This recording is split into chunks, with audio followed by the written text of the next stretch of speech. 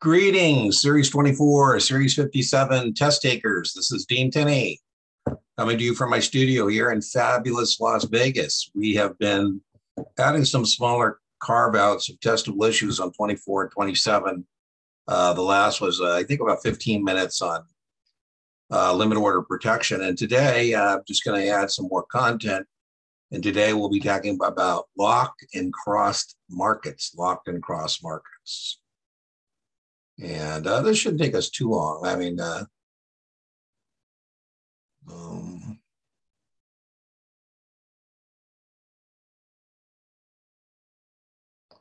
boom, there we go.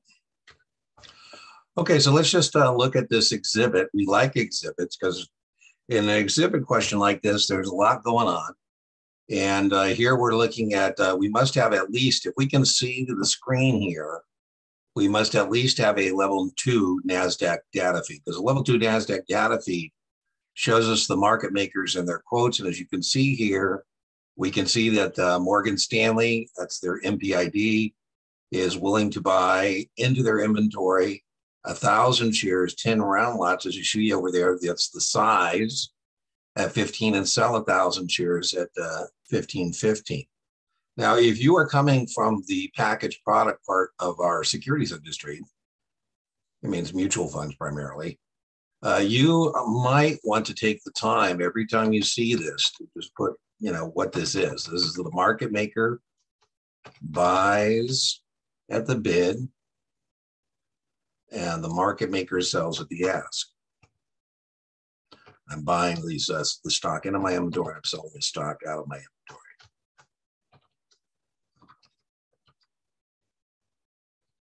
Our people struggle on trading is we don't have a handle on this quote and from whose perspective. Uh, I'm going to do another lecture. I'm going to call it "Know Your Bid and Your Ask." so uh, that is uh, something you really got to get a handle on. Okay, so we got Morgan Stanley there. We got Goldman Sachs at 1502. Uh, 1516, 8 by 9. Again, that means Goldman Sachs is willing by 800 shares in inventory at 1502. They're willing to sell 900 shares. Those are round lots of 15, 16.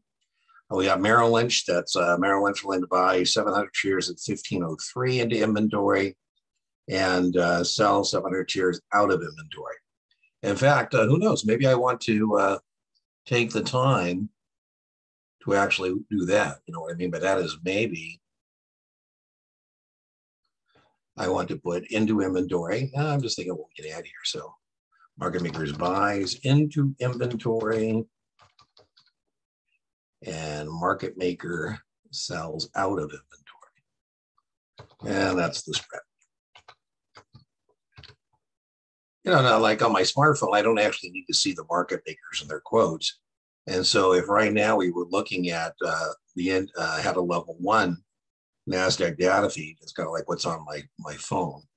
We would see the highest bid very testable. Highest bid here is 1503. And we'd see the lowest ask, which in this case is uh, 1515.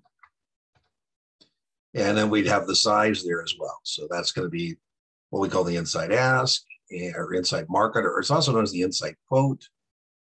And then I'm going to have what size is available here. And the size is going to be seven round lots. Let me get a different font here. That's going to be on the size. Uh, seven available on the bid and a thousand shares on the ask. So that's what the uh, the one Nasdaq data feed's going to look. So now I am uh, contemplating joining these uh, market makers on the screen here, the display. And let's say that my uh, MPID, my MPID is uh, Newport Securities. Newport Securities is a market making firm I first started with back in the day. And let's get a bigger font there.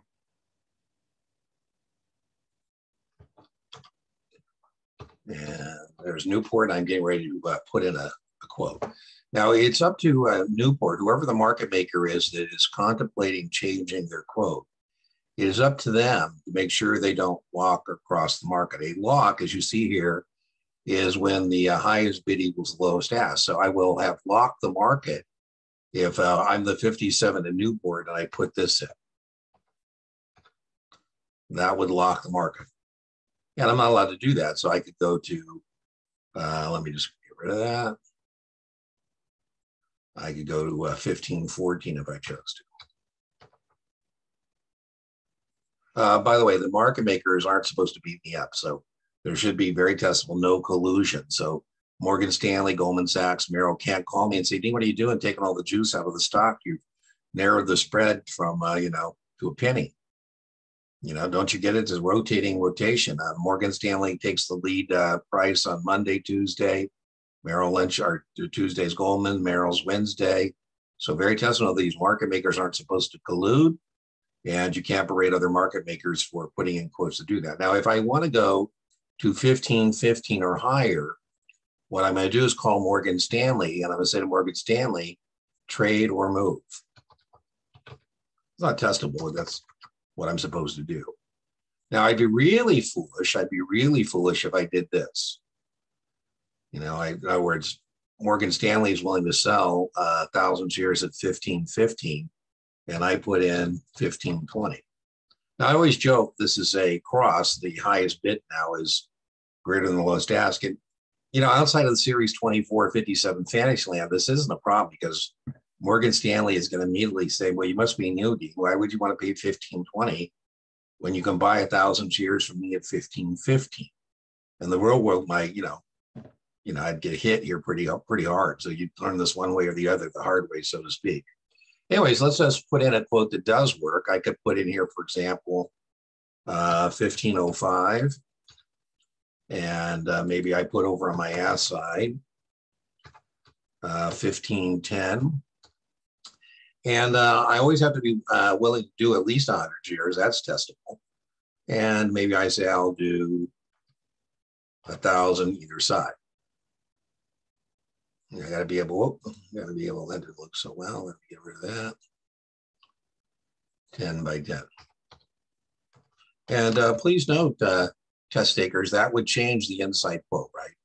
The inside quote would now change because this is no longer going to be the inside quote. Uh, based on what I just did there now, the inside quote has been 1505. By the way, I not testable, we don't need the axe now, the stock, because I've got the uh, best on both sides, right? 1505, 1510.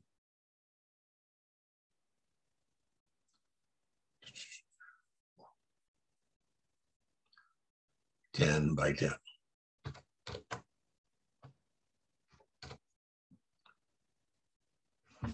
Okay, so that's uh, locked and cross markets, locked and cross markets. Uh, let's just review. It's the market makers in the quote. They got to make sure they don't do this uh, incorrectly.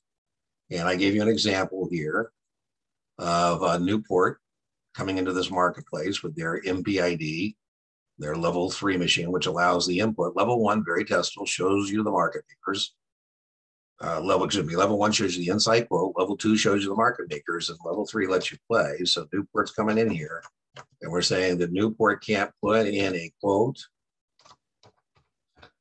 that would lock the market, that would be a lock, or that would cross the market, which in this case would be, Yep, I'll just do it from the get-go. And we said that would be where I put in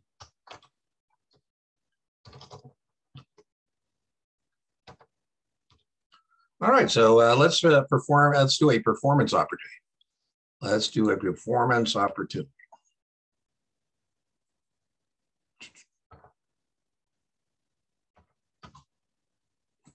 Whoop.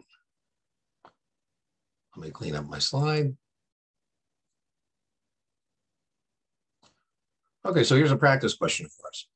Uh, when the inside market is 23, 23, 25. So what I highly recommend you do is above these things, right? You know, what Dean thinks you should do is not testable, but you know, I would want you to try and get as comfortable as you can uh, with what's going on here. This is the highest bid. Let me change colors. Right, and this is the lowest ask. That's what the inside market is, also known as the inside quote. That is very testable. And so now what I like to do is I, I like to kind of make my own exhibit on these kind of questions. And the, I like to do what the question says and look at the results. So now they're saying I'm going to put in a quote at 2250, uh, 23.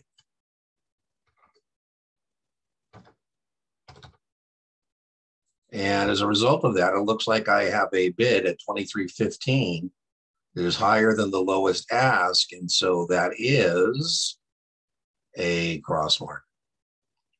Okay, so I hope you found that helpful. Uh, we have been fortunate enough to be at 350,000 views in our short 14 month YouTube channel history. We're closing in on 5,000 subscribers. Uh, please refer your SIE folks. The SIE playlist content is chock full. I don't think there's anything more that we'll always adding, but there's enough there. Series seven, we have five separate playlists for seven, series seven. Uh, we got a 66 playlist is pretty full, 65. All that to say, we're now building out the content for some of the uh, uh, more limited registrations like nines, tens, fours, you know, 24s, 57s. And so you can look forward to uh, more content. The next 24 content I'll be adding uh, is a collaboration we do with TestGeek, Exam Prep LLC. And we're going to be going over uh, some teaching tools Brian has. Uh, that'll be our next installment. Uh, if you uh, got something out, of smash the like button, uh, put in the comment box any lecture you'd like me to add to the playlist, and I'll see you for the next installment.